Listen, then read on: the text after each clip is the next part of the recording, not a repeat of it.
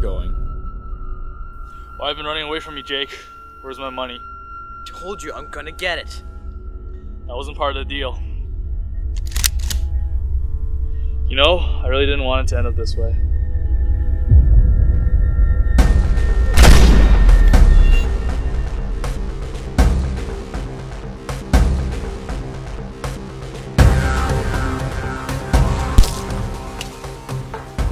Me too.